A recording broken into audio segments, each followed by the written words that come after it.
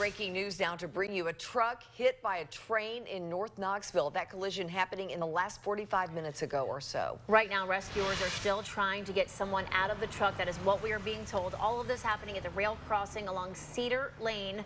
Right now, you are looking at a live picture. We do not know anything about the condition of the person who is trapped inside. Again, this all happening.